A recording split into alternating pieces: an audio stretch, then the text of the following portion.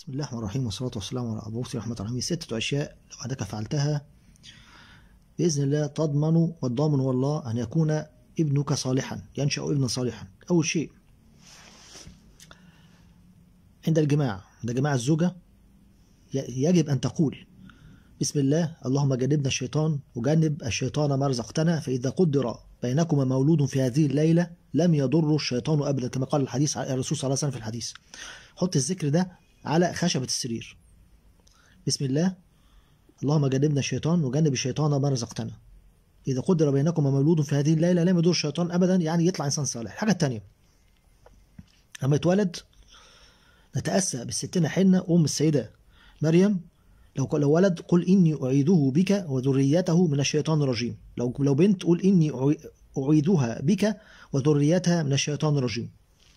ليه؟ لما الست حنة قالت كده فتقبل فربنا قال رد عليه فتقبلها ربها بقبول حسن وأنبتها نباتا حسنا. دي أول تاني حاجة. الحاجة التالتة يؤذن في الأذن اليمنى وتقام الصلاة في الأذن اليسرى. الحاجة الرابعة يحلق شعر الطفل سواء كان ابن أو ولد أو بنت ويوزن ويت- ويتصدق بثمنه فضة أو ذهب. يعني احلق الشعر الشعر تماما ويتوزن ويت- ويت- ويتصدق بثمنه فضة أو ذهب. كما فعل كما أمر الرسول صلى الله عليه وسلم ستنا فاطمة. الزهراء رضي عنها ففعلت بالحسن والحسين. الحاجة اللي بعد كده عقيقة يعق عنه في في يوم سابعه أو يوم ال 14 أو يوم ال 21 والعقيقة مهمة جدا لانها تعق الشر عن الطفل وتحفظ تحفظه طول العمر من كل المصايب.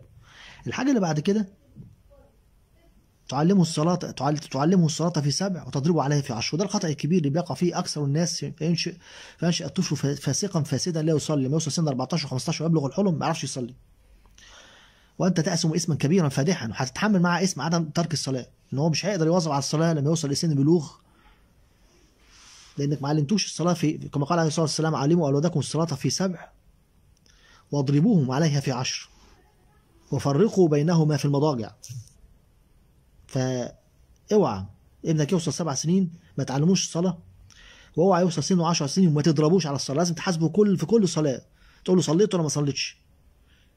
ولما يوصل سن وإذا كان هادي في خمس ست تاخده معاك المسجد عشان يتعلم الصلاة ويركض الصلاه لو عملت الحاجات دي كلها هينشأ الطفل صالحا وتقيا ورعا ومش هيتعبك. انت انت والزوجة ويسمع الكلام.